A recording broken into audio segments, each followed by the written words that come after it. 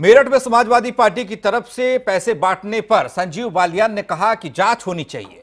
कि इतना पैसा आता कहाँ से है? हमारे संवाददाता अमित दुबे ने केंद्रीय राज्य मंत्री संजीव बालियान से खास बातचीत की। उन्होंने आर टीवी से बातचीत में क्या कहा दिखा रहे हैं आपको।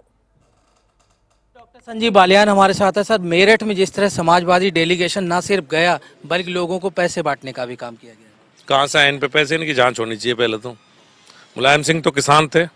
अभी हज़ारों करोड़ रुपए राजनीति में कहाँ से आ गए इन लोगों के पास तो पहले तो इनकी जाँच होनी चाहिए कि पैसा इतना लाते कहाँ से हैं। वैसे तो उनकी इच्छा है उनका पैसा है किसी को भी दें हम रोक नहीं सकते। लेकिन ये जाँच तो कि पैसा आता कहाँ से है। लेकिन सर बड़ा सवाल ये भी है अब आज़ादी की लड़ाई बता रहे हैं मीडिया पे भी आरोप लगा रहे हैं कि आप उन्हें हिंसात्मक क्यों बोल रहे हैं ऐसे लोगों ये लोग तो एक तरह से आज़ादी की लड़ाई चल लड़ रहे हैं।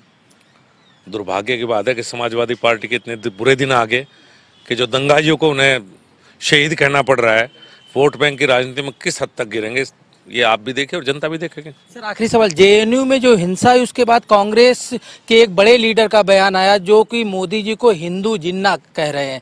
मुंबई की बात करें तो वहाँ पे कश्मीर की आज़ादी के पोस्टर लगाए जा रहे हैं। ठाकरे के पुत्र वहाँ मुख्यमंत्री है उन्हें देखना चाहिए कि बाल ठाकरे की आत्मा आज क्या कह रही होगी जब ये पोस्टर वहाँ ले रहे जा रहे थे। सख्त कार्रवाई इनके खिलाफ होना चाहिए बस यही कह सकते बात करने की शुक्रिया। तो ये थे डॉक्टर संजीव बालियान जो साफ़ तौर पर कह रहे थे कि आखिर समाजवादी पार्टी के पास इतने पैसे कहाँ से आए? पहले इसकी जाँच होनी चाहिए। कैमरामैन राहुल के साथ Amit Dubey, R nine TV, Delhi.